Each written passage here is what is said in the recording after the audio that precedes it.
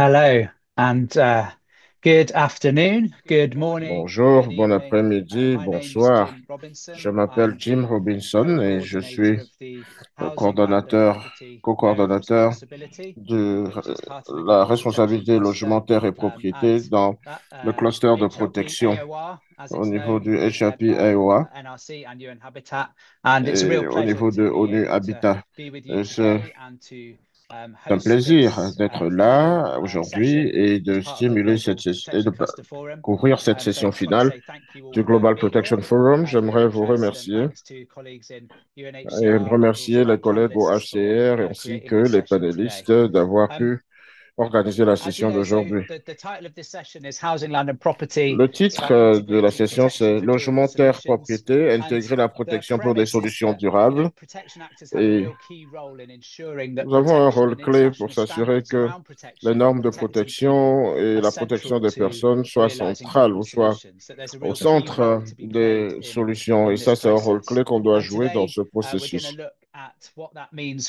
Aujourd'hui, nous allons voir les perspectives en matière de logement, terre et propriété, et aussi voir comment cela pourrait être intégré dans les activités humanitaires, des questions de paix environnementale et réponse aux crises afin qu'on puisse voir les réponses d'urgence et penser aux solutions. Comment nous lions cela aux résultats qui pourraient permettre aux gens d'avoir ce dont ils ont besoin pour vivre en sécurité et en dignité.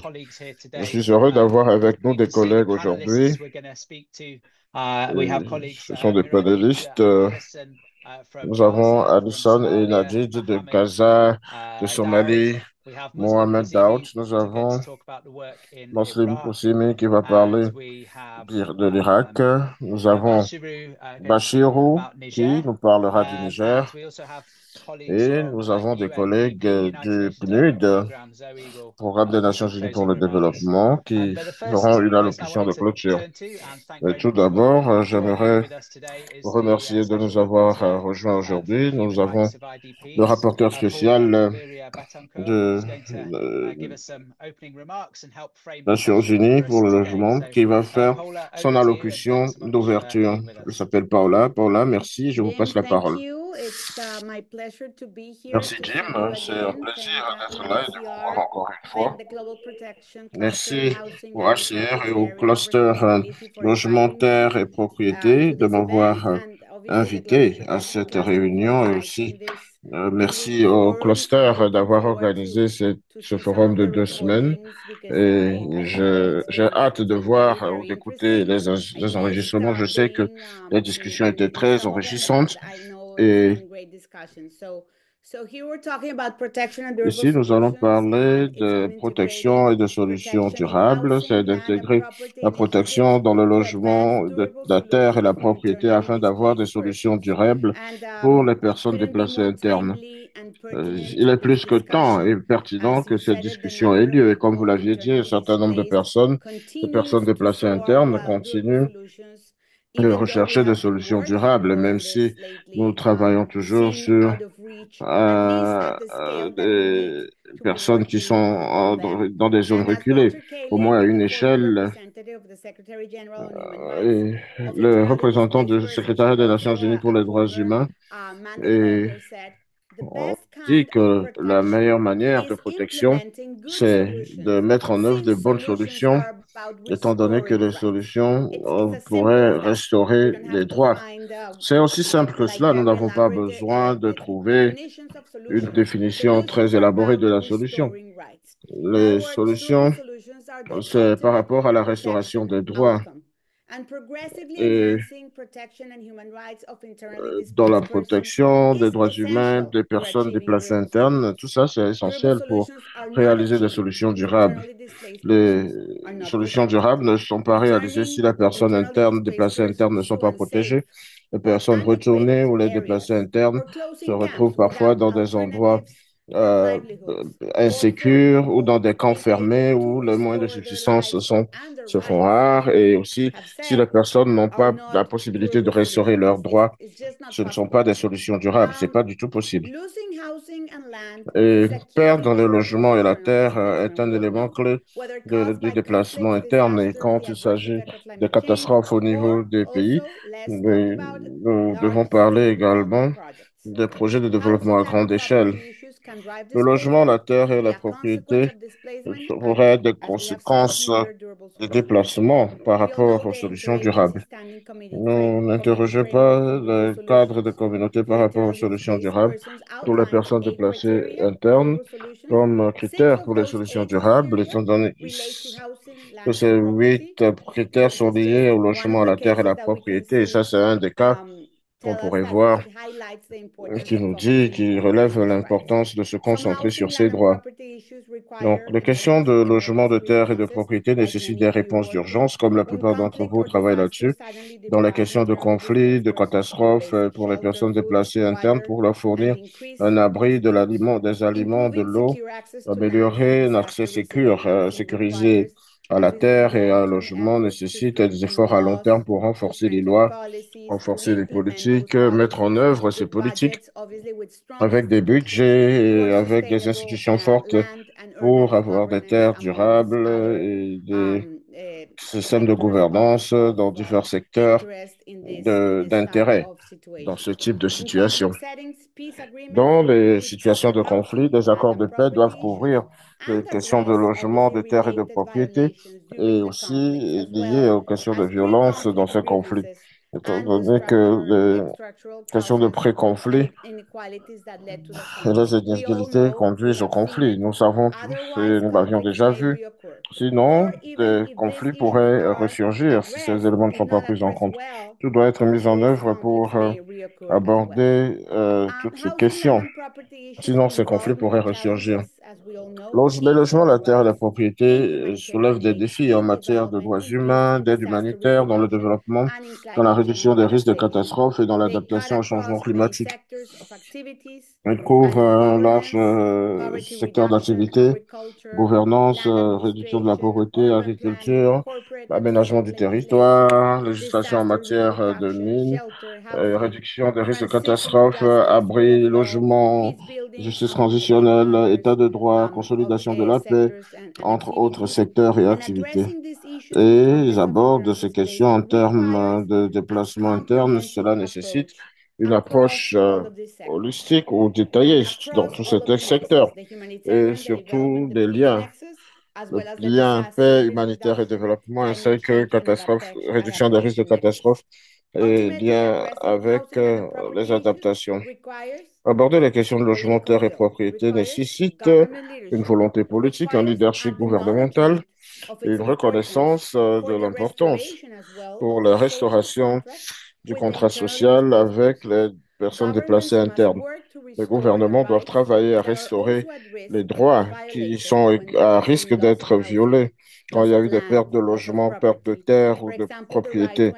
Par exemple, le droit d'avoir un- une norme adéquate euh, de vie, le droit à l'eau, le droit à l'alimentation. Et nous devons protéger les personnes déplacées internes ainsi que les personnes à risque contre les abus et mener des actions positives pour s'assurer de la jouissance des droits de logement et de propriété. C'est quelque chose que nous connaissons, mais qui ne se passe pas souvent dans nos États.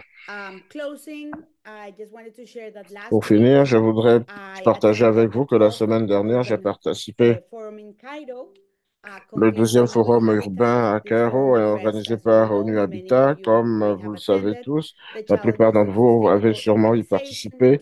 Ça, ça aborde les questions de crise en zone urbaine.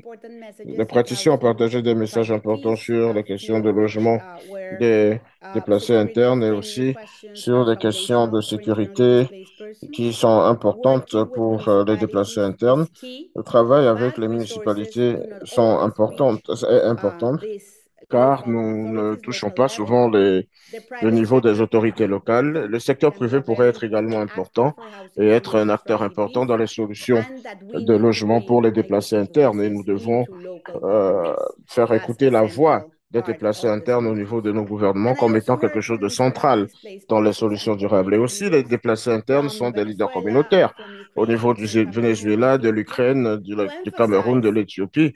Ils ont souligné le sens d'une maison pour eux qui va au-delà du logement. Et je voudrais conclure avec ça parce que je pense que c'est important et je sais que vous travaillez sur ces questions également.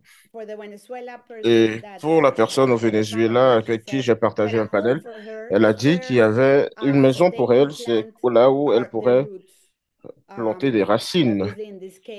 Euh, dans ce cas, il faut le faire en dehors du Venezuela. Une maison pour eux, c'est un réseau social de la sécurité et du bien-être. Ça, c'est ce que la dame ukrainienne a parlé, qui nous l'a dit. Une maison est un endroit sûr pour les femmes et les filles. Ça a un sens d'appartenance et constitue aussi un, un, sens de guérison pour euh, la Camerounaise. Une maison, c'est une zone où les communautés soutiennent et les, les infrastructures sont là au niveau communautaire. Donc, j'espère que nous aurons des discussions fructueuses aujourd'hui et j'encourage nous tous à nous rappeler que les droits au logement, à la terre et à la propriété pourraient devenir des sujets très techniques et on est évidemment nous lions cela à des atouts, à des biens tangibles et n'oublions pas aussi cet aspect tangible de la chose lié au sens de la sécurité, au sens d'appartenance et plus important, je dirais, un sens de dignité. Je vous remercie, Jim, pour l'invitation. Merci beaucoup, Paula. Merci pour ces allocutions qui nous aident à cadrer les discussions, qui nous donnent un sens clair de pourquoi ces questions sont importantes. Aller au-delà de, cette, de ce jonglage technique et la base technique que nous pourrons utiliser dans notre travail et penser à l'impact sur les personnes. Où est-ce que les gens pourraient vivre? Comment pourront-ils avoir accès à, au logement, à la terre et à la propriété? Donc, merci beaucoup, Paula, d'avoir pu planter le décor par rapport à comment les personnes vivent ces expériences lorsqu'ils perdent ce dont ils ont besoin. Merci beaucoup et cela nous aide aussi à passer à la prochaine partie de notre session qui porte sur ou qui constitue un dialogue entre un certain nombre de collègues qui travaillent sur les questions de logement, de terre et de propriété dans différents contextes. La manière dont nous allons procéder, c'est de voir des questions auxquelles ils vont répondre et qui leur permettra de parler de leur travail lié directement à ces sujets, c'est-à-dire qu'est-ce que ça veut dire quand on parle de protection vis-à-vis des solutions durables face à ces sujets. Donc, nous allons donner un aperçu de 30 secondes de ce que nous voulons dire par euh, logement, terre et propriété. Peut-être Paul a déjà parlé de cela, mais je vais ajouter quelque chose en disant que lorsque nous parlons de logement, terre et propriété, nous avons trois autres acronymes qui, qui couvrent autre chose. Mais qu'est-ce que nous à quoi nous pensons quand on parle de logement, terre et propriété Nous parlons de personnes, nous pensons à des personnes qui ont des maisons, euh, des maisons où il n'y a pas de crainte ni de, de ni de, de, de, des logements de force, un endroit qui offre l'abri, la sécurité, un endroit où on a des moyens de subsistance, avoir des matériaux, des questions d'eau et autres, des choses qui nous affectent. Nous pouvons pas lier cela à la, à la manière dont nous nous sentons par rapport à notre capacité à vivre de manière sûre. Et nous savons que parfois on est concentré à certains risques, mais particulièrement dans une crise, lorsque les gens on doivent quitter leur maison, alors? il va falloir qu'on pense en compte euh, le processus et les gens doivent euh, voir euh, là où on doit euh, travailler sur le long terme. Et cela nous donne un aperçu général et on essaie de voir quelles sont les différentes définitions et qu'est-ce qu'on veut dire quand on parle de ces sujets. Et je vais... Si vous voyez une définition que vous ne comprenez pas, n'hésitez pas à nous aider mais aussi on a peut-être des questions. à traiter ou quelque chose qui nous donne des questions de sécurité et de dignité. La première partie du dialogue, j'aimerais appeler notre collègue de Gaza est en Somalie. Pensons aux solutions dès le départ. Qu'est-ce que nous voulons dire par là? Et je suis heureux d'avoir avec euh, moi euh, qui est chef de cluster euh, et coordonnateur à Gaza. Nous avons également euh, un WhatsApp et un travailleur RNRC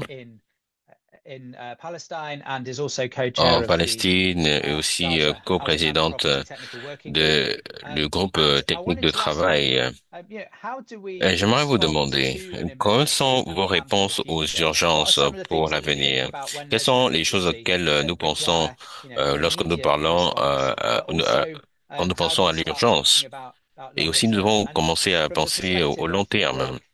Donc, euh, dans votre travail dans la bande de Gaza, euh, comment est-ce que les choses avancent de manière progressive euh, pour faire face à cette situation tellement difficile? Alison, je vous passe la parole. Merci beaucoup, Jim. Merci de me passer la parole. Vous savez, la situation au, euh, euh, à Gaza, c'est une situation très complexe en termes euh, de ce que nous pouvons faire hein, et que nous faisons déjà. C'est tellement... Euh, ah, il y a tellement de choses que nous pouvons faire. Une grosse partie de ce que nous pouvons faire, c'est le plaidoyer de HRP et les droits. Nous creusons dans ce que les partenaires font déjà. Nous trouvons des personnes euh, qui sont déjà des HLP, mais c'est vraiment difficile de faire euh, euh, le plaidoyer pour elles euh, parce que il est difficile de décrire de ce que nous faisons déjà. Donc le HLP, c'est quelque chose déjà de complexe en soi. Et par rapport au plaidoyer et expliquer ce que cela veut dire, il y avait un déplacement massif euh, de personnes. Euh, nous étions au courant déjà que les personnes quittaient euh, des bâtiments et des maisons. Et et il n'y avait aucune compréhension des choses à faire et à ne pas faire dans les HLP. Donc nous avons mis une orientation, une sorte de guide pour dire aux gens ce qu'ils doivent faire et ne pas faire. Et, nous l'avons partagé. C'était pas beaucoup de choses, mais cela a aidé dans une certaine manière. Et les gens regardent aussi la négociation sur euh, les loyers pour s'assurer que les gens ne sont pas surexploités. Et d'une certaine manière, cela euh, porte des fruits. Nous essayons de comprendre les besoins des HLP euh, pour pouvoir faire un sondage et de savoir ce que nous pouvons faire, qu'est-ce que nous pouvons mieux faire pour soutenir, et aussi par rapport aux documents d'héritage. Comment les bâtiments sont pris en charge? Vous regardez les cours, par exemple, ici, les gens travaillent et doivent savoir comment travailler, euh, parce que quand on parle d'héritage euh, euh, ou d'équité, euh, voilà, c'est vrai que je dois en parler un tout petit peu plus, mais les certificats, par exemple, euh, le ministre euh, regarde et essaie de voir comment on peut évaluer les dégâts. Et ce sont des choses qui sont faites. Je sais que il y a certains privilèges qui sont accordés pour aider à comprendre le contexte euh, et HLP. Et pour l'avenir, c'est pour revenir à votre question, le défi principal euh, à Gaza, c'est de pouvoir planifier l'avenir. Parce que nous n'avons aucune idée de ce à quoi cela va ressembler à l'avenir. Nous ne voulons pas euh, nous perdre en chemin. Nous ne savons pas quelles terres seront disponibles. Nous ne savons pas qui sera en charge. Nous ne savons pas quelles sont les personnes qui vont les occuper. Nous ne savons pas qui seront impliquées. Il n'y a aucun, il n'y a aucun cadre pour pouvoir comprendre à quoi cela va ressembler demain. Donc, c'est difficile de planifier et c'est tellement compliqué. Et la relation, la, situation à Gaza, ils savent comment répondre à des petites escalations. Ils savent comment travailler sur les HLP. Ils savent comment euh, s'y prendre. Mais dans la structure gouvernante qui existe, et même cette structure a été décimée et personne ne sait à quoi cela va ressembler, et c'est difficile de savoir si on peut pas utiliser les processus à l'avenir. Et je crois que cela est problématique dans les HLP. Thank you, Alison. Thank you. Merci beaucoup, Alison. Et, et c'est euh, une petite correction euh, aux, aux, manières par lesquelles on pourrait apporter des solutions. Ce que vous êtes en train de dire à propos de ce qui se passe au, en Gaza, il, y a des choses que nous devrons savoir ou devons savoir, et cela présente euh, un difficulté, une difficulté euh, à part entière. Et ce n'est pas seulement l'importance de ce qui se passe, mais aussi nous voyons des gens qui parlent euh, du long terme. Le futur est tellement incertain en ces temps-ci. Donc, il y a plusieurs manières par lesquelles on peut euh, trouver euh, des solutions. Donc, merci beaucoup pour cette perspective. Et Déa, de votre côté, qu'est-ce que qu'est-ce qui est fait? Quels sont les humanitaires présents Comment ils essaient de répondre? Quelles sont euh, les choses qui se qui s'y passent? Merci beaucoup, Jim. Alors, euh, moi, j'ai fait ce scénario où j'ai essayé de décrire un tout petit peu le travail de euh, groupe technique HLP. Et c'est ce que nous avons fait. Donc, nous essayons de rassembler les acteurs d'abri, euh, toutes sortes d'acteurs, euh, toute autre personne impliquée dans cette action, les rassembler et faire et les aider et les aider à comprendre comment on peut mieux les aider euh, dans le travail de réponse euh, et aussi s'assurer que il n'y a pas davantage de mal causé. On parlait d'un des exemples, euh, par exemple, on peut dire euh, voici les choses à faire et les choses à ne pas faire sur site. Donc nous essayons également, malgré tout ce que Alison est en train de dire, le futur est tellement incertain, mais nous essayons de planifier des scénarios et voir comment on peut contourner tout cela. Nous procédons également à l'identification, des analyses, euh, risques de protection, parce que euh, Gaza est, vit une situation sans précédent. Donc, nous essayons également de soutenir euh, certaines victimes. Par exemple, euh, la gestion. Nous essayons, il y a un groupe de travail qui travaille sur les questions de respiration nous essayons de voir ce dont elles ont besoin.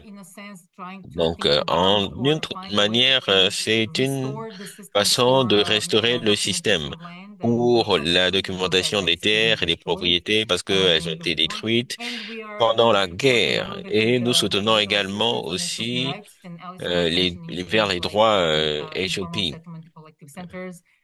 à travers les centres de collection. Il y a eu beaucoup de victimes, euh, parler des questions de, de loyer, etc. Nous essayons donc essayer de, de soutenir des personnes par des accords. On met en place des accords. Euh, Peut-être on négocie les prix de loyer. Donc voici le genre d'efforts dans lesquels nous nous engageons pour penser à l'avenir et aussi pour penser comment tout cela euh, va se dérouler d'ici quelques années. Donc c'est ce que nous faisons pour l'instant. Merci beaucoup. Et j'ai mis dans le chat euh, un lien. Euh, Gaza a une propriété où les gens euh, peuvent aller. C'est un site web où les gens peuvent aller. Il y a des documents euh, dont Alison vient de parler. Donc, euh, regardez-le. Je dire que si les gens ont des questions et des commentaires, je vois que plusieurs personnes font des commentaires dans la boîte de dialogue. Si vous avez des questions, nous espérons avoir du temps pour euh, les poser à la fin. Et s'il vous plaît, utilisez la rubrique questions et réponses si vous voulez demander quelque chose. Avez-vous autre chose à ajouter, Alison, avant que nous ne concluions sur euh, votre intervention? Non, vous n'êtes pas obligé. Euh, merci beaucoup de nous avoir rejoints. À présent, nous allons nous adresser à notre collègue Mohamed qui travaille avec la fondation JP en Somalie. La Somalie donne des perspectives différentes de Gaza, de la manière dont la, les personnes voient les questions de logement, terre et propriété, non seulement en termes de besoins humanitaires, mais aussi en termes de solutions qui donc, Mohamed, j'aimerais vous demander comment répondez-vous à une euh, urgence et faites-vous des planifications pour l'avenir en termes de LTP Qu'est-ce qui pourrait être fait euh, dans des crises afin de pouvoir se euh, jeter un regard sur les questions de logement, terre et propriété. Merci Jim, merci à tous. Afin de comprendre les questions d'urgence en Somalie, d'abord, on doit comprendre le contexte de l'urgence en Somalie. Donc, en Somalie, nous avons D'abord, la sécheresse et des inondations. Et comme vous pouvez voir sur euh, la photo, c'est là une, un cas d'inondation en Somalie. Um, à gauche, nous avions un pont, nous avions un pont, et pendant la saison pluvieuse, en janvier, uh, uh, nous avions eu le niveau d'eau qui ont augmenté. Comme vous pouvez le voir sur la photo, à droite, après l'inondation, vous pouvez voir la destruction massive de l'infrastructure qui était là. Et c'était une infrastructure construite dans les années 70 qui a été détruite par l'inondation. Nous avons donc différents types d'urgences. Nous avons aussi des conflits armés, que ce soit euh, politiques ou euh, terroristes, parce que nous avons le groupe Al-Shabaab, le groupe terroriste Al-Shabaab, qui cause des dommages aux populations. Il y a de cela près de deux ans, nous avons eu une invasion, nous avons également des crises sanitaires lors des épidémies. Et quand nous voyons toutes ces urgences, il y a des besoins en matière de réponse. C'est ce que nous faisons. C'est que nous mettons en place des systèmes d'alerte précoce en Somalie et nous envoyons des messages d'alerte pour informer les gens. Nous nous sommes rendus compte qu'en Somalie, les gens ne sont pas informés. de ce qui se passe et nous utilisons des SMS ou d'autres formes pour euh, livrer ces messages aux différentes communautés en Somalie. Nous travaillons aussi sur le renforcement de capacités locales euh, au niveau des structures existantes en Somalie. Comme vous le savez, euh, la NRC pilote ce cluster LTP en Somalie et pour ce cluster, euh, d'autres, notre fondation soutient NRC en la matière. Et ce que nous faisons, c'est que parfois, dans les zones où nous travaillons, nous documentons ce qui se passe. Et ce que nous faisons pendant les urgences aussi, c'est de coordonner les choses. Et le gouvernement local euh, et pour s'assurer que les actions ou les interventions soient bien coordonnées au cours des urgences. Vous pouvez le voir aussi sur la photo, sur cette photo. Nous, après l'urgence, il faut lancer un plan de résilience et nous fournissons, nous fournissons des services de base et aussi faisons des programmes de sensibilisation à l'endroit des communautés, aussi sur les infrastructures, l'engagement des communautés et aussi les moyens de subsistance. Nous avons là sur la photo un de nos partenaires concerne qui travaille sur euh, les interventions de moyens de subsistance en Somalie. Nous collaborons également avec d'autres bailleurs et euh, partenaires internationaux afin de pouvoir euh, mobiliser plus de fonds et aider lors de ces crises qui existent en Somalie. Merci, Kim. Thank you, Mohamed. And Merci Mohamed. Comment définissez-vous les solutions durables en termes à long terme, sur les interventions à long terme. Je pense que pour les solutions durables, ce que nous faisons souvent, c'est que les solutions doivent venir des populations et c'est la raison pour laquelle nous organisons souvent les projets d'engagement communautaire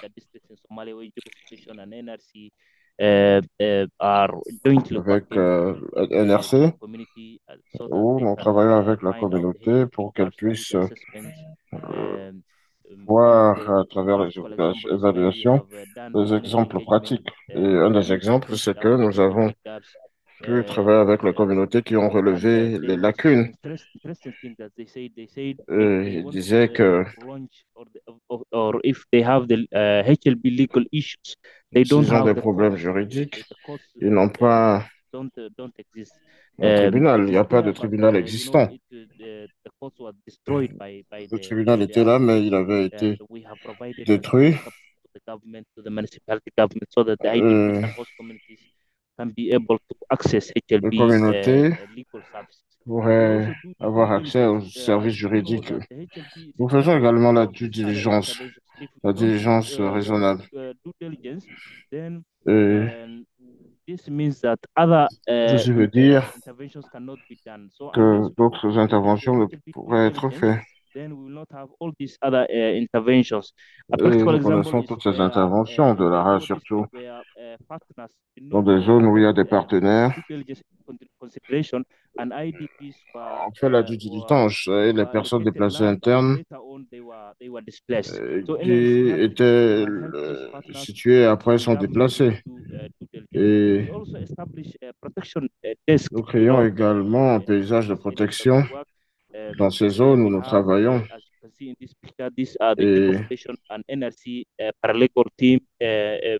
L'équipe parajuridique de NRC aide les communautés dans les conseils juridiques sur, sur les questions de LTP. Nous fournissons également des, des informations, notamment pendant les crises ou s'il y a une inondation.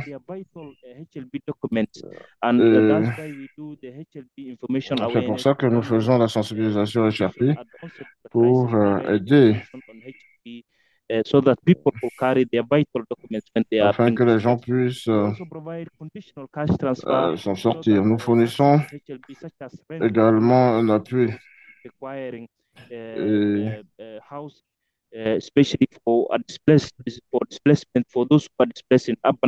surtout pour euh, ces personnes, euh, nous leur euh, donnons le soutien nécessaire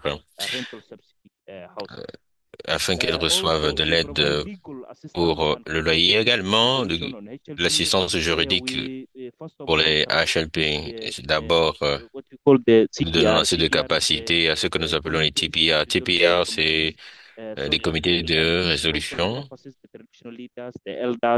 Il y a des chefs traditionnels et, tout cela sont des groupes minoritaires. Tous ceux-là sont sélectionnés par la communauté afin de fournir le soutien juridique de manière euh, amicable et résoudre les problèmes auxquels ils sont confrontés. Merci beaucoup, Mohamed. Il y a certaines questions dans la boîte de dialogue qui nous viennent sur le rôle euh, fait de travailler avec le gouvernement. Et je voulais juste te demander, parce que dans plusieurs pays dans lesquels nous travaillons sur les problèmes de terre, il peut y avoir euh, des manières euh, communes très efficaces et très effectives. Je voulais juste euh, savoir si vous pouvez dire quelque chose par rapport à la Somalie, comment le contexte traditionnel fonctionne. Est-ce que le, cadre est formel comment, comment cela est? En Somalie, lorsque vous regardez la structure traditionnelle euh, des coutumes, etc., en Somalie, pratiquement euh, dans toutes euh, les activités traditionnelles, nous nous engageons encore plus avec les chefs traditionnels qui euh, participent énormément. Donc, la solution doit respecter les coutumes locales qui intègrent la protection légale des HLP. Et la terre est un composant tellement important au Somalie et parce qu'il joue euh, plusieurs rôles. Et les résolutions, les conflits euh, liés à la terre euh, ont tellement euh, été vus. Donc, pour faciliter le, le dialogue dans, parmi les chefs, les leaders traditionnels, il y a certains standards, certaines normes qui doivent être respectées. Et peut-être euh, peut-être euh, que certaines terres sont euh, euh, possédées par la communauté, mais il faut impliquer toutes les autorités et tout le monde,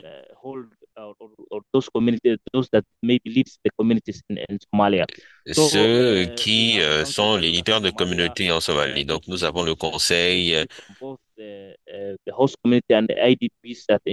les communautés d'accueil, les HDP, euh, qui assurent une utilisation, une utilisation équitable des terres. Il devrait également y avoir euh, une sensibilisation ou une coopération pour réduire les tensions. Ce qui est le plus important en Somalie, c'est que la loi coutumière est prédominante par rapport aux autres lois qui existent dans le pays.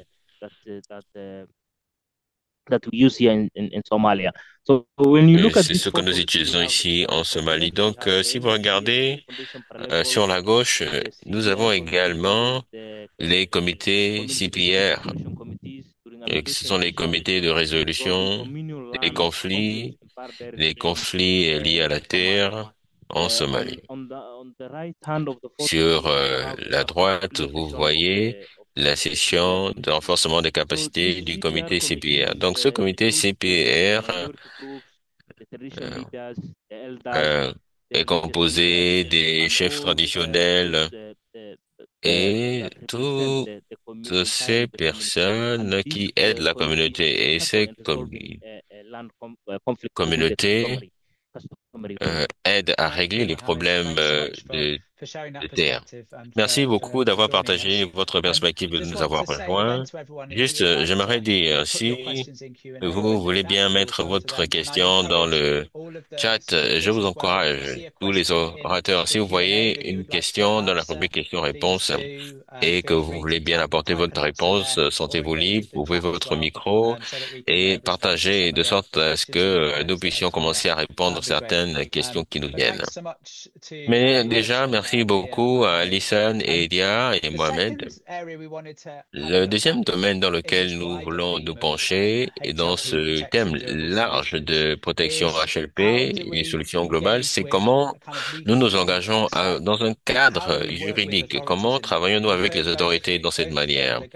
Nous avons déjà entendu parler de l'exemple de Somalie et de Gaza, ce qui a été mentionné, mais spécifiquement, nous aimerions aller dans les détails et parler du processus parce que il y a des résultats à long terme auxquels nous devons aussi penser parce que les autorités dans ces endroits veulent faire aussi partie euh, du cadre juridique. Donc, c'est une manière de garantir la sécurité des personnes et la protection des biens et des propriétés. Donc, nous allons nous tourner vers euh, euh, le Niger. Et, premièrement, j'aimerais parler avec le musulman Oussini qui travaille pour UN Habitat au Yémen. Donc, merci d'être là, Muslim Kazimi. Dans, dans votre travail en Irak, il y a un cadre juridique qui euh, protège les droits des HLP et c'est une approche humanitaire qui contribue de plus en plus. Comment la voyez-vous, cette approche? Merci beaucoup, Jim. Bon après-midi, chers collègues. C'est un plaisir d'être là dans ce forum. Bien entendu, j'ai été euh, engagé avec euh, un autre cluster plus tôt, mais je suis aussi heureux d'être là et participer et répondre à ces questions importantes par rapport au cadre euh, juridique sur lequel nous sommes engagés en Irak par rapport à la protection des HLP. Si vous me donnez l'opportunité, j'aimerais expliquer euh, un aperçu des problèmes par rapport au HLP et surtout pour les minorités HLP, les droits des HLP. Comme vous le savez, en 2014, euh, le gouvernement a été occupé par l'organisation de l'État islamique, ISIS, et nous avons pu voir les dégâts extrêmes sur plus de 6 millions de IDP, c'est des pla- déplacés internes. Et ce sont des communautés vulnérables euh, qui résident dans le district de Sinjar, c'est vers le nord de l'Irak. Et cette communauté était très discriminée et même euh, cela avant. J'aimerais rappeler que depuis le régime de Saddam euh, dans les années 70-80, l'Irak avait décidé de nationaliser les euh, terres aux minorités, pour les minorités. Euh, donc euh, cela a laissé euh, les minorités sans, terre. Et malgré toutes ces discriminations, les mi- minorités ont été emmenées vers des points de concentration. Et en Arabie, en arabe, c'est là est appelé, euh, voilà, un terme en arabe. Et il y a des milliers de personnes qui étaient concentrées. Elles ont été déplacées de force et elles ont été laissées euh, pour reconstruire une nouvelle vie euh, sous le cadre de la protection. Il n'y avait aucune documentation, aucun rapport par rapport euh, euh, à ce qui s'est passé. Cela continue même à ce jour. Euh, jusqu'à 2013, la situation, après 2013, la situation s'est aggravée. Il y a eu un transfert de terres vers les groupes militaires et groupes euh, terroristes. Et je dis que les choses ont empiré parce que euh, les gens étaient déprivés de leurs droits. Donc, après cela, nous avons commencé une guerre sur euh, l'étude pour avoir une compréhension de ce qui s'est passé réellement et comprendre le problème euh, de fond en comble. Et nous avons fait une très bonne étude, nous avons fait l'étude et puis nous avons commencé à nous engager sur comment faire euh, la protection des droits euh, HLP. Donc euh, cela, nous avons été un tout petit peu surpris parce que le gouvernement n'a fait aucune connaissance de cette communauté et ne savait pas que la communauté faisait euh, face à des discriminations et qu'il n'y avait pas de protection pour elle. En gros, vous avez les problèmes de registre- d'enregistrement, de cartographie, et nous avons convaincu le gouvernement à trouver des solutions pour elle. Et nous avons trouvé des solutions où nous offrons maintenant des euh, certificats qui aident à protéger les personnes HLP et aussi d'autres communautés. Plus de 7000 euh, personnes ont été enregistrées. Nous avons les SDM, nous avons produit des certificats et nous euh, enregistrons également les catastrophes en Irak où nous avons développé une présence avec les minorités. Après avoir sécurisé les droits HLP, nous avons dû trouver les moyens pour protéger euh, d'autres personnes. Le gouvernement était réticent dès le départ parce qu'il pensait que nous voulions travailler avec les institutions et qu'il n'y avait pas de besoin de protection. Il fallait juste euh, procéder avec la protection des HLP. Mais nous avons insisté et, et nous avions dit qu'il fallait les documents. Euh, ce sont les règles et ce sont les réglementations que nous devons tout simplement respecter. En gros, nous avons pu rédiger un document avec le gouvernement d'Irak où, de manière officiellement, nous reconnaissons les terres après 50 ans de discrimination. Cela était le plus grand, euh, la plus grande prouesse que nous avons pu faire pour euh, donner des exemples concrets sur comment protéger les minorités, les IDP, c'est-à-dire les personnes déplacées, etc. Alors, une fois que nous avons commencé à appliquer le décret, nous avons aussi trouvé sur notre chemin des euh, problèmes administratifs euh, pour matérialiser le décret. Donc, avec le gouvernement, nous avons commencé à rédiger un autre décret où nous pouvions opérationnaliser et utiliser les certificats et les convertir en des titres.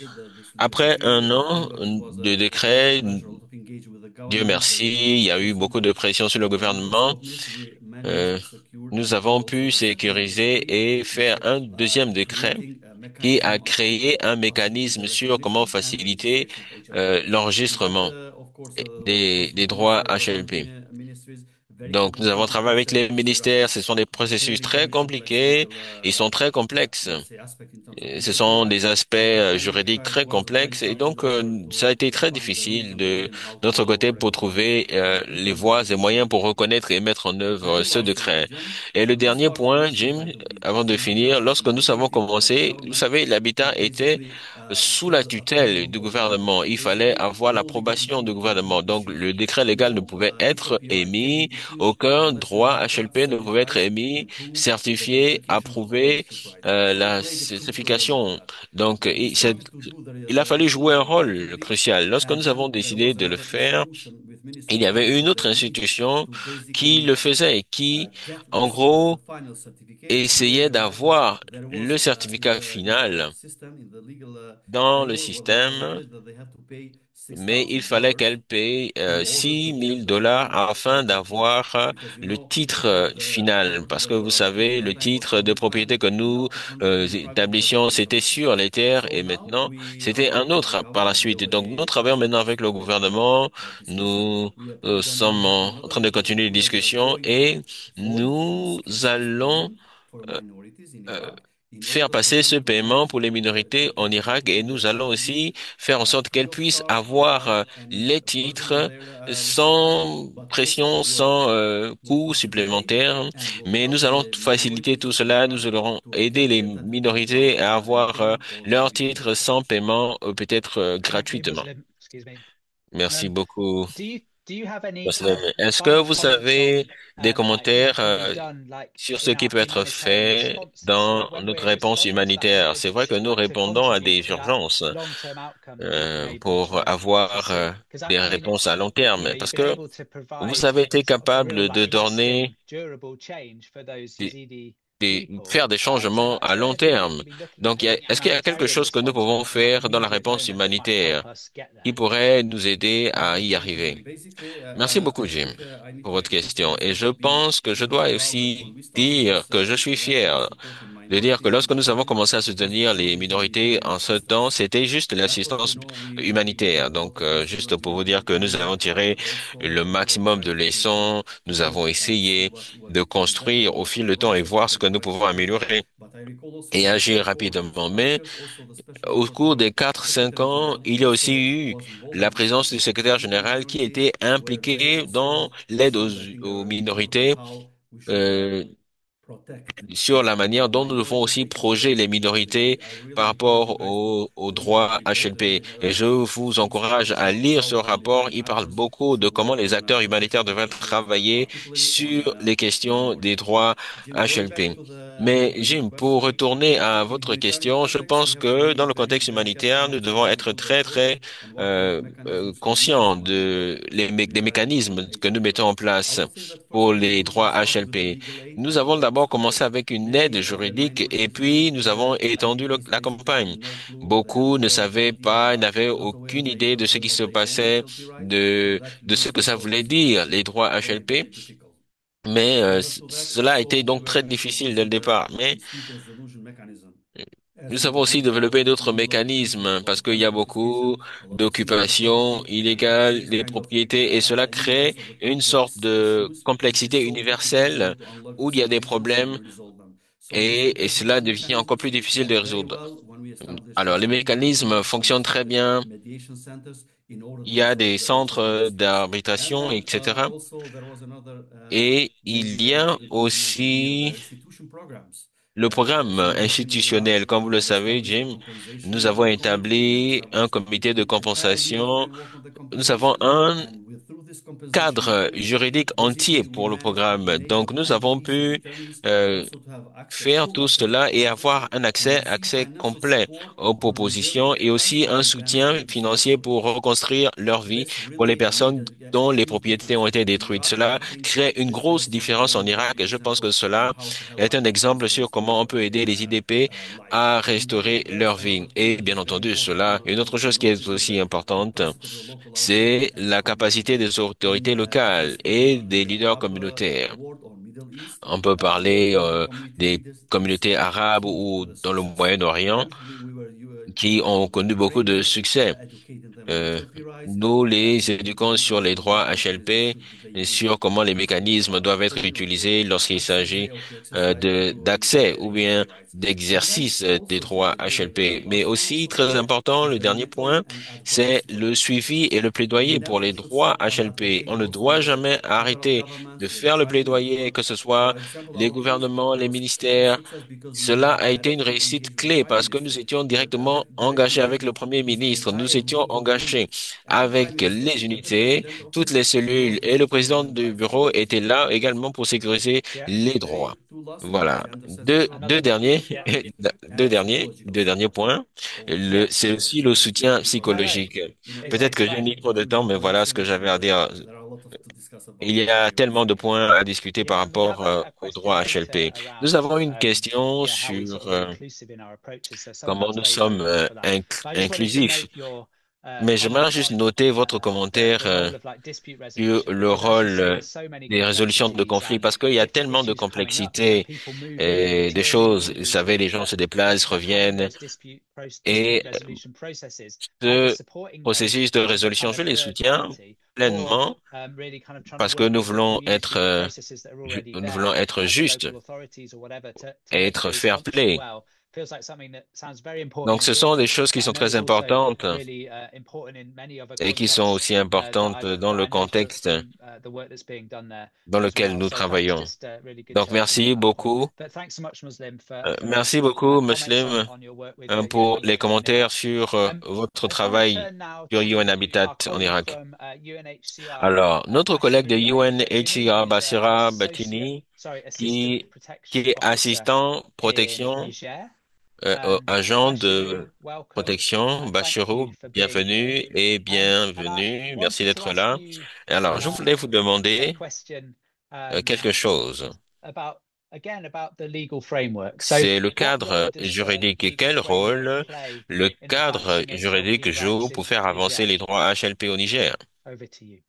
Je vous passe la parole. Merci Jim, merci aussi aux autres intervenants, aux autres panélistes, et y compris Paola.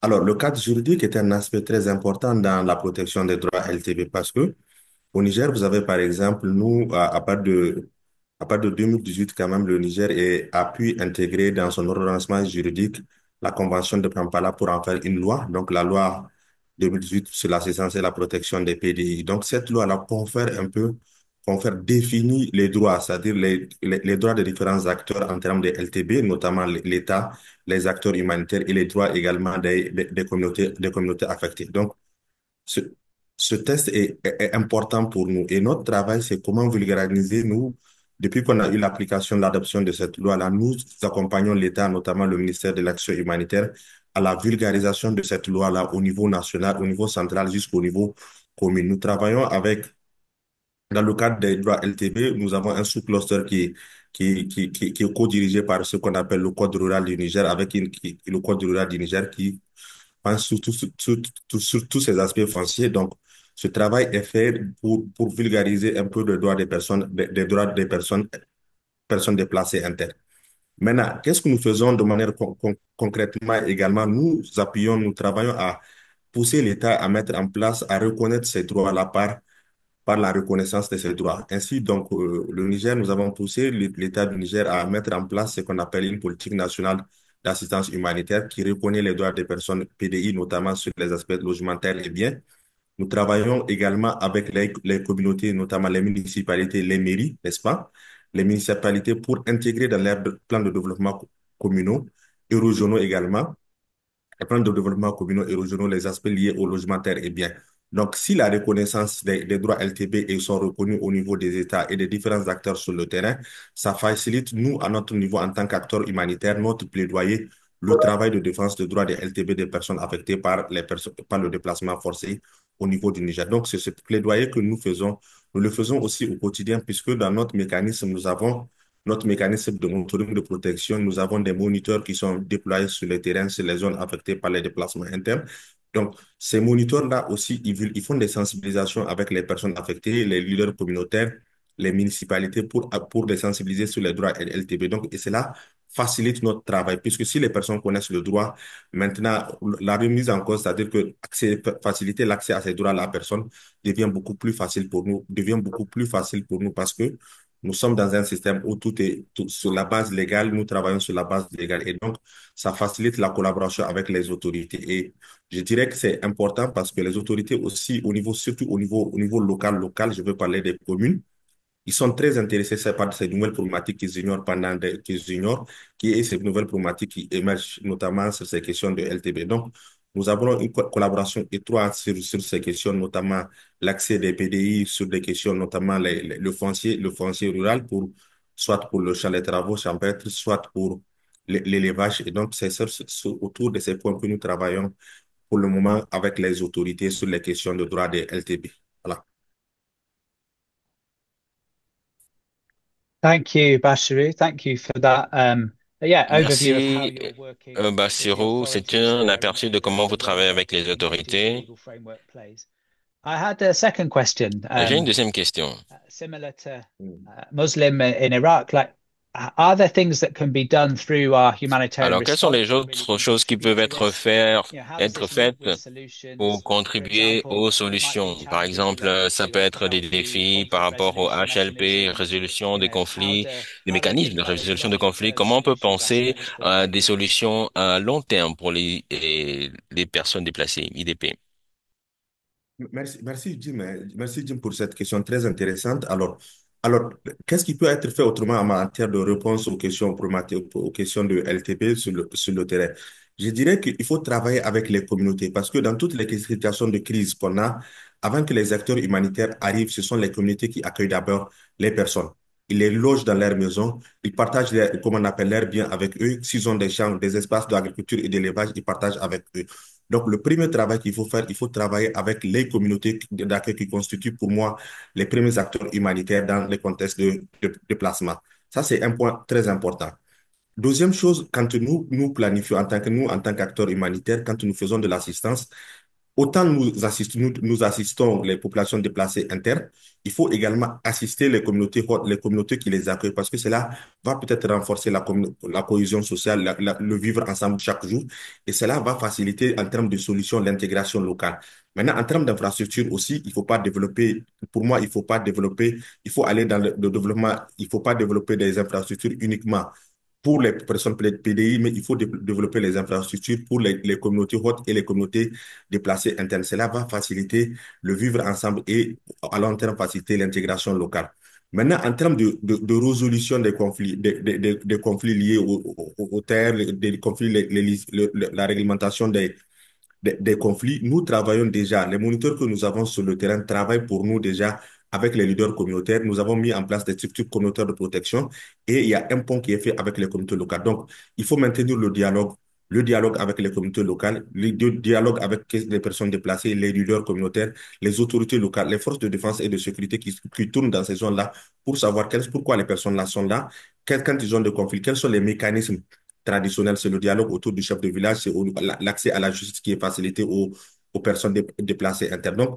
Nous travaillons sur ces aspects-là. Maintenant, comment nous devons faire en sorte, en termes de, solutions également pour avancer rapidement sur ces questions de LTB, c'est de faire en sorte que dans notre réponse humanitaire, c'est-à-dire que les réponses d'urgence que nous déployons sur, le terrain en tant qu'acteurs humanitaires, dès le départ, dans les évaluations rapides de protection, bien dans les, les mécanismes rapides de, de, de, réponse, il faut que les questions LTB soient intégrées. Parce que quand les gens arrivent, on va les donner à nourriture, on va les donner à boire, mais à la fin, ils ont besoin de logement, ils ont besoin d'abris.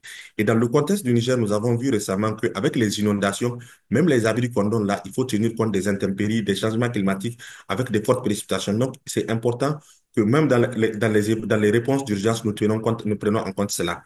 Maintenant, l'autre aspect, c'est que nous pouvons, nous devons aller vers l'amélioration de, de, de nos mécanismes traditionnels, nos mécanismes de coordination pour que la question de LTB soit transversale au niveau de tous les acteurs. Dans, dans, dans la réponse que nous déployons sur le terrain, c'est que les questions de LTB soient prises en compte, soient prises en compte, prises en compte au niveau des acteurs. Je veux dire aussi qu'il est important qu'on insiste aussi qu'il est important pour, en tant qu'acteur humanitaire, qu'on passe de temps en temps des évaluations et la cartographie pour voir quelles sont les localités où nous avons les PDI, quelles sont les typologies de problèmes de PDI qu'on a, quels sont les, comment allons-nous aller vers, en termes de réponse pour aller vers les solutions? C'est important qu'on ait cette cartographie qui, qu'on peut mettre à jour de temps en temps pour pouvoir visualiser nos problèmes, voir comment y, y répondre.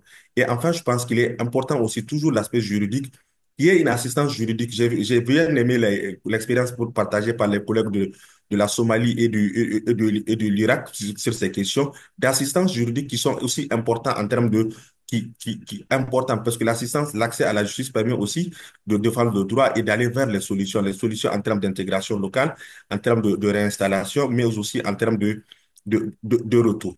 Et donc, nous, ces aspects, les trois aspects-là, que ce soit les aspects, les trois aspects de solution durable sont prise en compte dans la loi nationale sur la protection des déplacés internes. Et donc, ce sont des aspects importants sur lesquels nous travaillons, que nous, nous travaillons tous les jours. Voilà, Jim. Thank you so much, uh, Bashiru. Yes, and again, Merci beaucoup, Bashiru. Integrating these approaches in, in things that might be what we assume Dans l'intégration de ces approches, est-ce que nous voyons en matière euh, de réponse humanitaire, quelles sont ces choses qu'il faut avoir Ce sont ces choses qu'il faut avoir en place sur les solutions, travailler sur la coordination, travailler avec d'autres clusters, d'autres acteurs pour s'assurer que le LTP est intégré dans ces résultats. Merci beaucoup, Bachirou. Encore une fois, je voudrais vous encourager, si vous avez des questions, mettez-les dans la rubrique questions-réponses. J'ai vu que il y a des, des présentateurs qui ont fait leur exposé et que si vous avez des questions, posez-les dans la rubrique questions-réponses.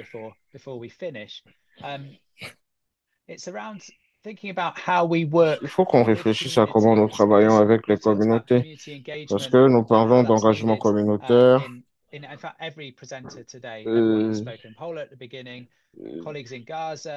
Les collègues au Gaza, à Gaza, en Somalie, en Irak, au Niger, on parlait de comment ils travaillent avec la communauté par rapport à l'inclusion et avec les groupes marginalisés. Il y a un commentaire dans la boîte de dialogue qui nous parle de cette question de sensibilité genre, approche centrée sur le genre, santé mentale et soutien psychosocial.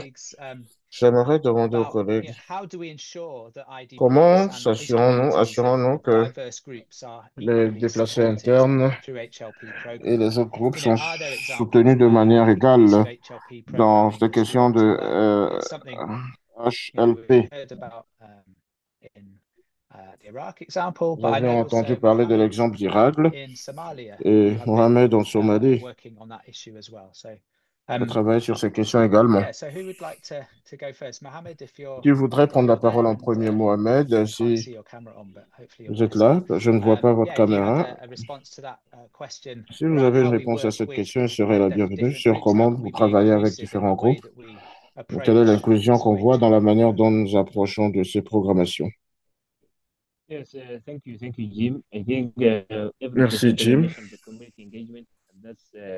En Somalie, nous avons divers groupes marginalisés. Nous avons les déplacés internes, les groupes des femmes. Tous ces groupes-là sont des groupes marginalisés. Et il est important de nous engager avec eux sur des programmes afin que nous puissions trouver des solutions à leurs besoins et que ces solutions doivent venir de ces populations.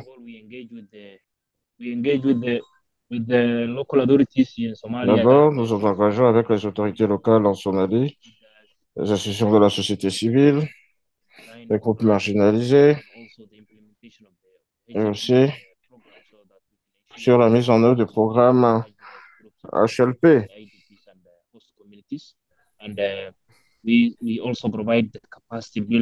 Nous renforçons aussi la capacité pour les groupes marginalisés. Je pense que nous avons fait ce genre d'activité en Somalie. Et aussi, dans ma présentation sur la dernière page, la dernière diapo, il y avait une photo où on faisait des consultations en matière d'HLP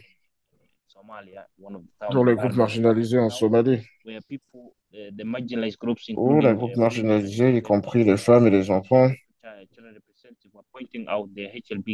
ont souligné les différentes lacunes, les manquements auxquels ils sont confrontés en Somalie.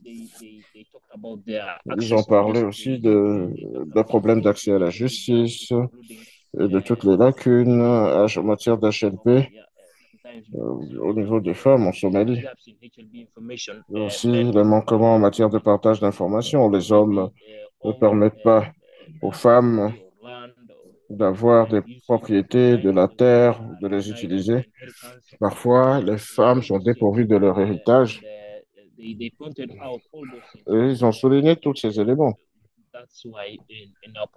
C'est la raison pour laquelle, dans notre programmation, nous avions fait beaucoup de sensibilisation sur les HLP.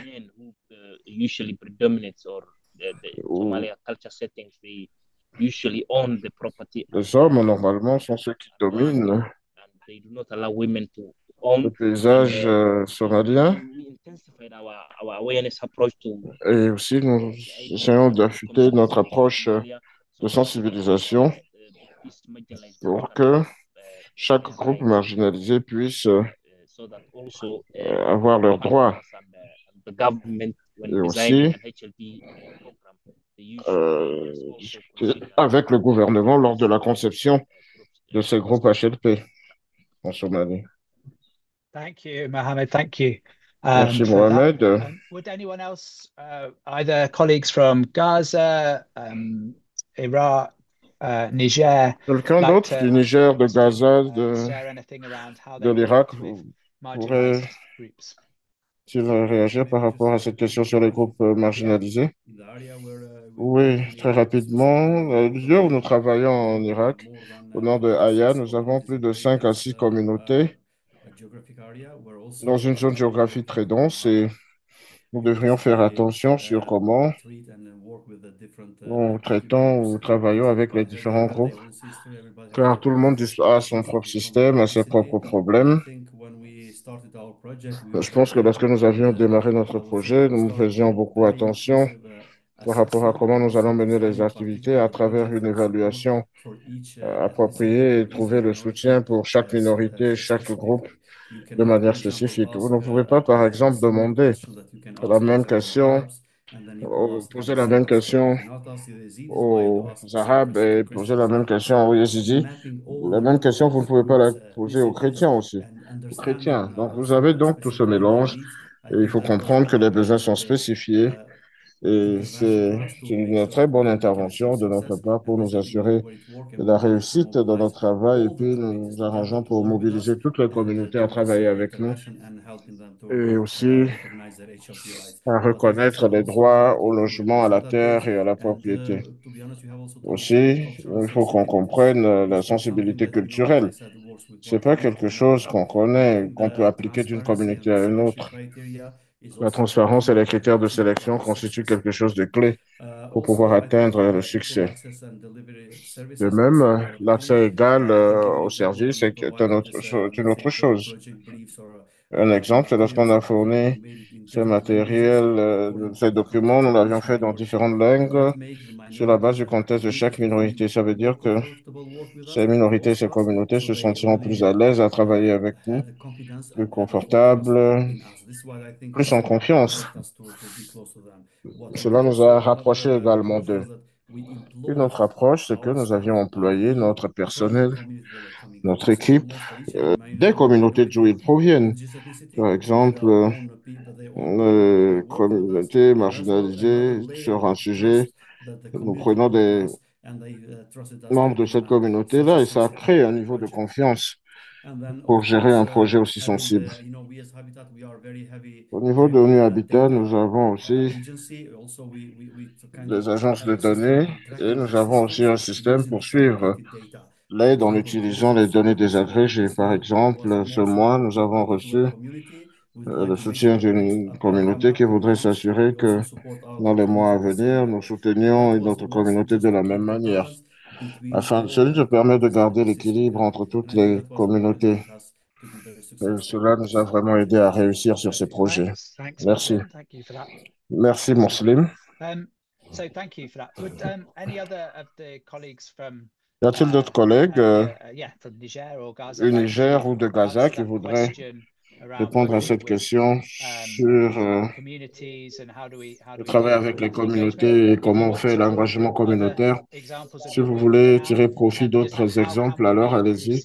Et comment we est-ce qu'on peut work rendre with cela inclusif? Comment travailler avec ces groupes? Alors, rapidement, hein, pour, pour le contexte du Ni- Niger, nous, nous n'avons pas de, de groupe mar- On a beaucoup plus de, de, de profils où vous avez des personnes déplacées internes qui peuvent être à la fois des, sédentaires ou bien souvent aussi des, populations nomades.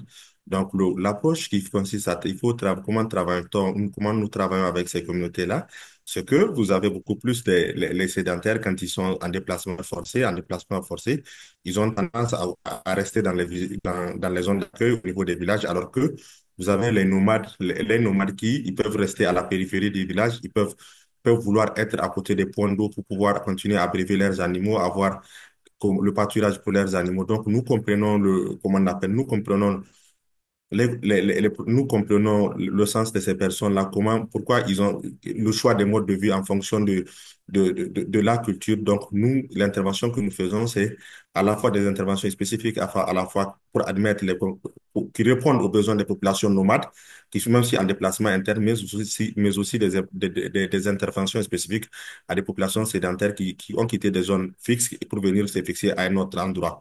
L'autre aspect que nous prenons en compte, c'est que dans, dans le contexte du Niger, nous travaillons également à faire un recrutement au niveau sur place. C'est-à-dire que les personnes que nous recrutons, ce sont des personnes issues des communautés, que ce soit des communautés locales, des communautés nomades ou sédentaires, mais surtout également des personnes qui comprennent les langues, les langues de ces personnes-là. Donc, c'est comme ça que nous faisons, nous, nous, fais- nous faisons le, recrutement. À la fois les, points focaux communautaires également que nous, les, les points focaux communautaires les, points focaux communautaires que nous utilisons ici, nous les prenons dans les communautés et nous définissons également avec eux, en fonction des cultures de, ces populations-là, les, les règles d'engagement. À quel moment? Est-ce que dans, dans le cadre des évaluations, nous pouvons discuter avec les femmes, les filles, est-ce que nous pouvons discuter avec les hommes? Donc, toutes ces considérations-là, il faut, il faut, il faut en tenir compte parce que quand il faut faire des focus group, par exemple, il faut aller dans certaines communautés, il faut aller notamment, il faut aller avec des femmes qui vont discuter avec les femmes pendant que les hommes aussi font des, groupes de discussion. Voilà un peu comment nous abordons cette question d'engagement communautaire dans, dans le contexte des déplacements internes. Merci.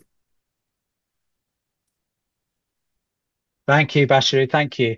Um, yeah, Dia, I wondered if you had anything on like how do Merci, engagement Dia, works. euh, voulons voir de votre niveau aussi comment ça se présente, It's cet engagement it's not communautaire. always easy Parfois, c'est un grand and défi, c'est pas toujours where facile, things are so surtout à Gaza où les intense. choses sont vraiment yeah, if you intenses. had any reflections Si on vous avez des réflexions sur le sujet, elles seraient les bienvenues. Yes, of course. I mean, uh, you can just imagine in Gaza, uh, Vous is pouvez imaginer Gaza, that c'est pas la première fois que Gaza fait face uh, not to à cette destruction. uh, Peut-être que maintenant c'est à une autre échelle. Et il est intéressant pour moi de voir to tous ces aspects. Ils ont vécu cela, ils savent où aller uh, which chercher uh, actor documents. Ils savaient quel acteur fournit quelle assistance. Puis ils vont vers eux pour avoir leurs attentes. Ils s'organisent aussi uh, entre eux.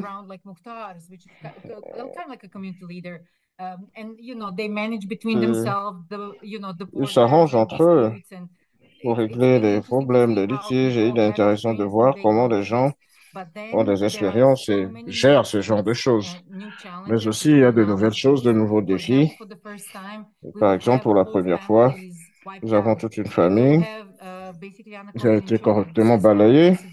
Unprecedented in Gaza. I mean, because we are talking Et about ceci qui se passe sans families précédent à Gaza. of each other. You know, 150 people in the family, Car and nous avons peut-être And 150 how they personnes dans une famille qui sont tous partis, humanitarian Comment vous gérez cela?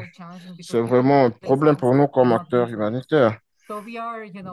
Donc, euh, euh, nous sommes en train d'apprendre comment gérer plusieurs choses à la fois. uh, Malheureusement, challenges. j'ai pas de solution par rapport aux défis. add, but Peut-être euh, que ma collègue pourrait ajouter quelque chose. dear. I mean, sometimes it, it- you know all we can do is try and at least ask better questions or try Deux and fois, ce qu'on peut faire, c'est poser to des questions pour essayer de comprendre. And pour voir ce que nous avons pu rater. Euh, peut-être que nous ne voyons pas les choses, euh, surtout euh, peut-être que les choses ne marchent pas, ne marchent pas dans un contexte dans lequel nous ne sommes pas qualifiés. Peut-être que c'est comme ça euh, que les choses sont. Évidemment, il faut s'engager avec euh, les gens, surtout si nous ne sommes pas de cet endroit.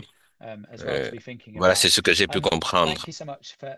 OK, merci beaucoup pour cela et merci, chers collègues. J'aimerais juste dire merci pour ceux qui sont à ce euh, panel.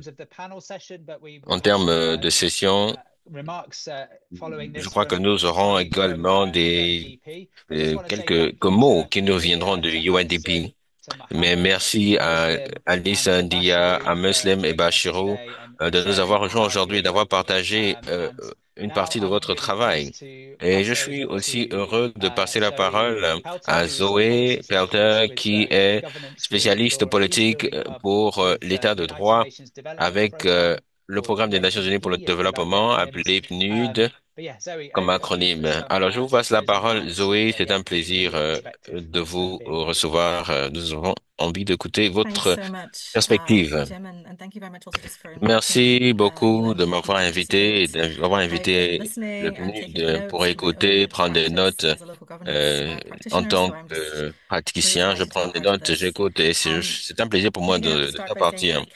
Je dois commencer par dire que je ne peux pas faire la justice à la discussion que nous avons aujourd'hui, mais ce que je peux faire, c'est offrir des réflexions sur comment clore le, le cercle du nexus euh, de la paix et du développement et comment eux-mêmes peuvent aider euh, par des réponses, tout comme nous parlons de l'humanitaire qui peut être la base de la paix humanitaire, etc. Nous avons entendu comment euh, tout cela a été dit. Nous avons écouté le rapporteur dire que la meilleure solution, et j'aimerais juste euh, soutenir cela, est l'appeler à une approche euh, sectorielle multipartite. L'UNDP, c'est-à-dire le PNUD et d'autres acteurs soutiennent cet appel. C'est un cercle très fermé. La force ou bien l'approche à long terme peut également aider à garantir que les droits fondamentaux sont là pour protéger les plus faibles.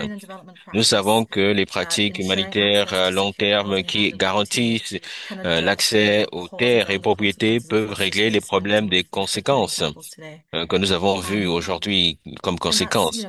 Et cela est vrai parce que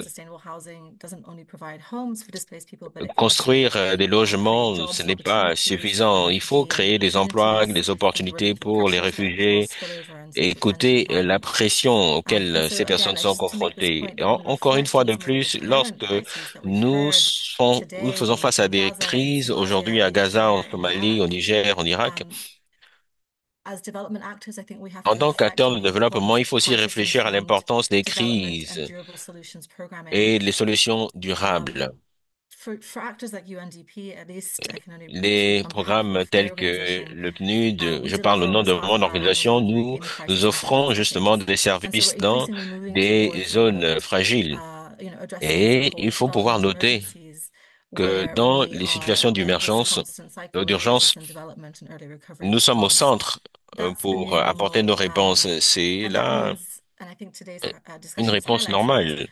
Et c'est ce que la discussion d'aujourd'hui a surligné. Les acteurs doivent prioriser le soutien pour renforcer le système des HLP en tant qu'un moyen pour empêcher les crises à venir.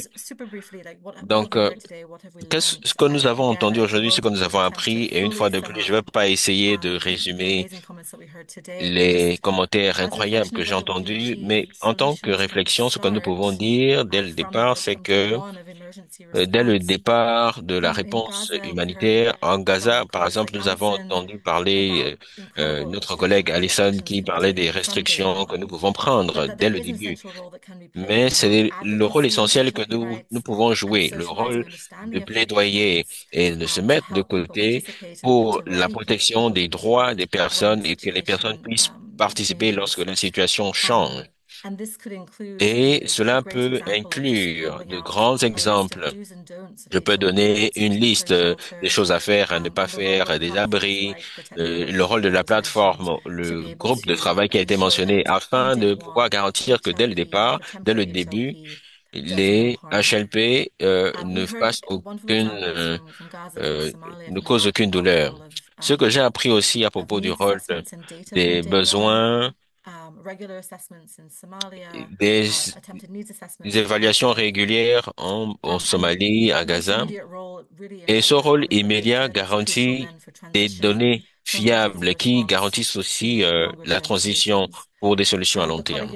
Les collègues de UN Habitat à Irak nous ont parlé du besoin d'évaluation euh, des, des, des, des, besoins, parce qu'il y a des questions basées sur la religion, basées sur les besoins de la minorité, et qui peuvent rendre toute la différence. Donc, il y a quelque chose qui doit être dit par rapport à ce continuum entre les solutions humanitaires pour l'escalation des données, l'accès aux données et qui peut aussi s'assurer ou nous aider à garantir qu'il y ait une très, très bonne transition.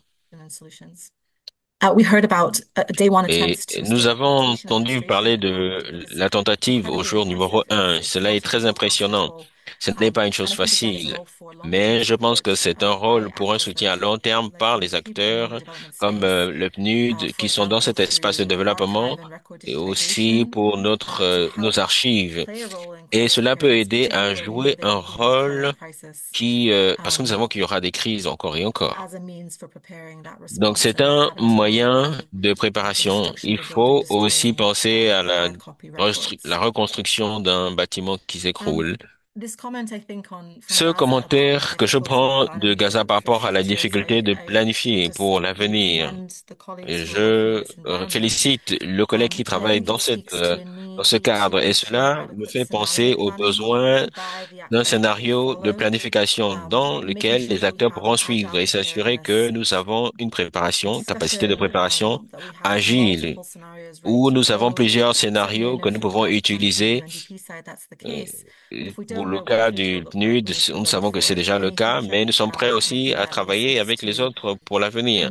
Et cela me dit que nous devons quitter de cette pensée de développement linéaire et être prêts à agir le plus vite possible. Il y a aussi un commentaire sur le cadre juridique. J'ai trouvé cette discussion intéressante. Ce que nous apprenons, c'est que la réponse humanitaire et les solutions durables travaillent pour sécuriser les moyens de subsistance pour mieux intégrer les personnes déplacées. Au niveau socio-économique au Niger, nous avons entendu parler du travail, de l'adoption de la Convention des personnes déplacées et le rôle d'établir des informations sur les droits, euh, aider les communautés. Mais si ce sont des actions à long terme, nous savons qu'il y aura aussi des déplacements euh, récurrents. Donc, il y a un besoin d'assurer des systèmes et voilà, nous avons entendu parler de ce travail incroyable. En Somalie, vous avez parlé d'aider les gouvernements locaux à, à garantir que les personnes euh, HLP sont protégées et qu'elles comprennent ce que cela veut dire. Nous savons tous que c'est un rôle important à jouer, mais ce n'est pas juste le gouvernement qui reconnaît les lois coutumières, mais aussi assurer un dialogue entre ces deux pratiques qui font, qui mettent en œuvre les droits HLP. Alors, du côté du PNUD, je crois qu'il y a un rôle aussi sur l'accès à la justice. Nous avons entendu des exemples de cela aujourd'hui et le plaidoyer à long terme, il faudra du soutien, euh, les mécanismes de redressement et, par exemple, récemment, la signature de la déclaration CB qui garantit l'aide de l'État des pays comme l'Arménie, l'Ukraine ont fait, ont, justement émis de telles euh, justices qui pourraient aider euh, un plaidoyer à long terme pour s'assurer que les pays soient prêts avec un soutien juridique surtout où nous voyons qu'il pourrait y avoir des crises récurrentes. En Irak, nous avons aussi entendu parler de la sensibilisation parmi euh, les groupes minoritaires. Donc, ces groupes peuvent également soutenir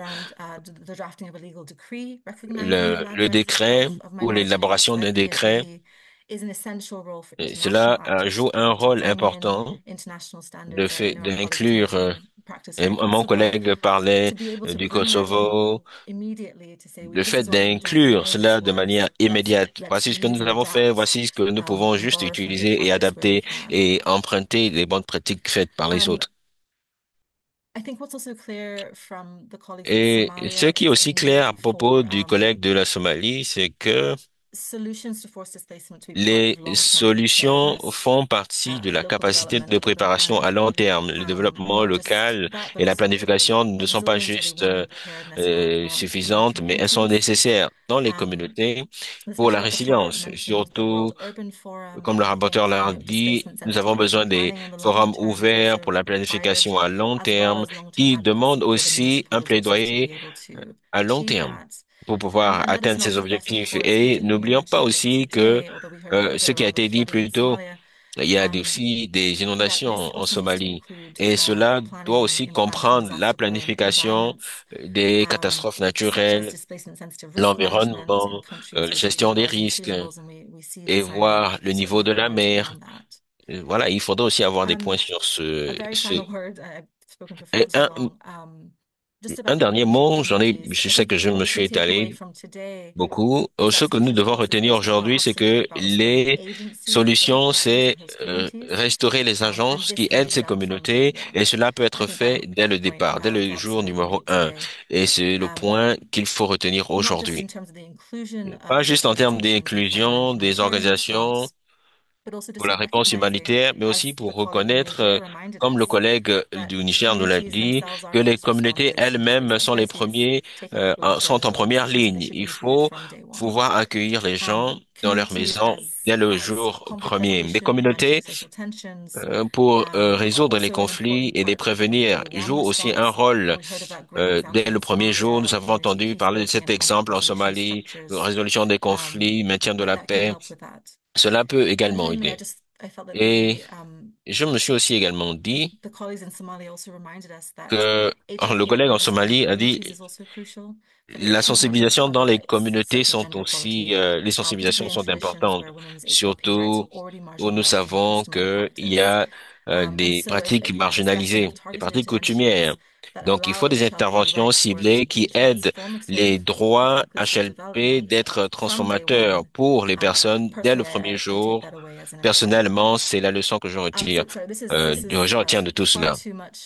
Voilà, je sais que ça fait beaucoup pour un, mot de fin, mais j'ai retenu beaucoup des orateurs d'aujourd'hui. J'aimerais juste les remercier une fois de plus. Et une autre note pour dire que assurer que les HLP, euh, voilà, qu'il y ait des causes et conséquences, une étude des causes et des conséquences. Aider également les institutions qui aident dans ces pratiques. Le manque de cela peut euh, euh, entraver l'instabilité. Ce que nous avons appris, c'est que les actions peuvent être prises dès le premier jour, mais pour rendre le cercle complet, il faut répondre à ces crises dès le premier jour. La coordination à travers les acteurs J'aimerais juste dire que aujourd'hui, nous avons vu un engagement ample de cette cause. Donc, je m'arrête là. Merci encore euh, de nous avoir inclus dans cette, dans ce débat et pour les débats et les mots qui ont été partagés aujourd'hui. Je vous passe la parole. Merci beaucoup.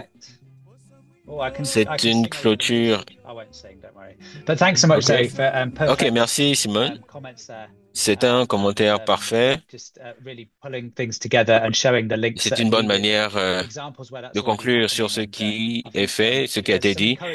Et c'est un encouragement. C'est un encouragement parmi tous les défis auxquels nous sommes confrontés. Je suggère de mettre l'accent avant de quitter, regarder la conversation dans, la, dans le chat et essayons de reconnaître euh, les besoins et les commentaires qui ont été faits, surtout la manière dont nous travaillons avec euh, comment les personnes sont impliquées dans les contextes où les conflits euh, sont arrivent pour que nous puissions mieux travailler avec ces collègues. Donc, s'il vous plaît, s'il vous plaît, regardez cela de près. Si vous voulez partager des ressources, vous avez votre dernière chance de le faire. Si vous voulez être en contact avec les HLP et OR, on peut aider par rapport aux propriétés et la coordination. Les enregistrements seront sur le site web GDP et aussi toutes les autres sessions. Donc, vous pouvez jeter un œil. Donc, merci beaucoup de nous avoir rejoints, tout le monde. Et voilà, nous sommes arrivés à la fin de Global Protection Cluster Forum. Et le mieux pour la fin, mon opinion, c'est que le meilleur était pour aujourd'hui, mais ne dites à personne. Merci encore et merci à tous les participants. Au revoir.